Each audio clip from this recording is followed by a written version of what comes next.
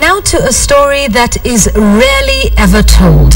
Many of us find it easy to criticize and dismiss those members of society referred to as commercial sex workers. But have you ever wondered why a woman, or indeed a man, would choose to engage in such risky business? And what are the experiences of these ladies and men of the night? Take a look. 31 year old Jane Kawira, not her real name, tells us that it takes courage, desperation, and strength for a girl or a woman to decide to get into the trade euphemistically called commercial sex work. And she would know because she has been doing this job for the last 10 years. Your house will be locked, your kids will be kicked out of school, you'll have to borrow food from the neighbors and the family. You see, it's a burden, you'll become a burden to the society. With this unorthodox job publicly frowned by society but secretly taken advantage of and even enjoyed by men and women alike, Kawira is bringing up her two children. She provides for them and ensures they never lack for anything. She believes it is the only job left for a single mother with no basic education and no skills for any serious job. You, you get to live with it because there are no jobs.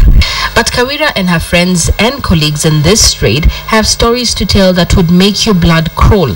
Despite being considered a job where girls go for easy money, they tell us it is the riskiest and dirtiest job on the planet. She and her friend, whom we shall call Grace, give gory details of what they go through almost every single night.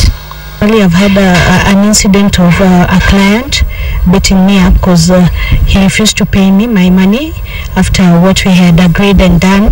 So he refused to pay me. So he beat me up. Last year nilichapwa na mwenye ameajiriwa Routine Gekeno Bar. Juu tulienda na mteja akanilipa 1000 nipe nyumba ya 300 nichukue mia, mia saba. Wakati nililipa niliambiwa nirudie but kurudia things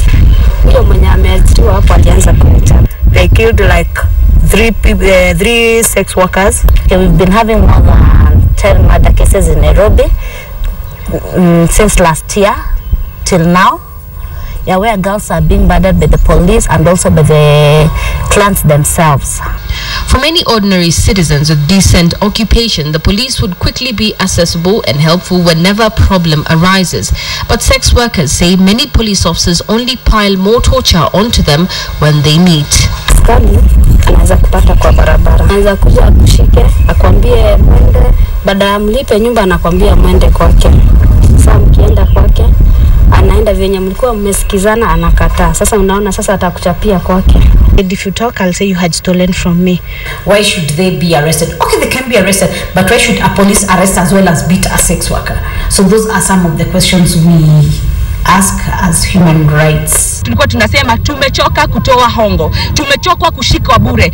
na pia tumekuwa tuki, tukisikia cases kadha wa kadha. Unakuta msichana amepatikana mali alibebwa jana na client kwa klabu yako, maybe umerudi kusikia kwa mali fulani ametupwa akiwa ameuliwa.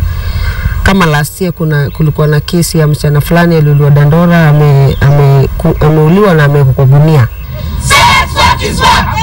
Unlike civil society protests that are covered by a bevy of journalists and beamed across radio and TV stations, even demonstrations by sex workers are laughed off by society when they hit the streets to demand fairness. Take the example of the recent demonstrations at City Mortuary, Nairobi, when they claimed a police officer had killed one of their own. Even sex work is work, like any other work. But if things are this bad, why do they stay in the business? In a night, I can make like 10,000. So, are you, if I can get a job that is paying me every day 10,000 or more than 10,000 every day, I'd go for it. Kazi yenye unaweza pata ukisema tununue machungwa usunguze, uwezi lipa nyumba na uwezi somesa watoto. Sasa mimi nikaamua kufanya sex work. Male sex workers also exist, and they have even told stories of being denied medical services when they go to certain hospitals. All said and done, prostitution is still illegal in Kenya and would often get these workers in trouble with the authorities.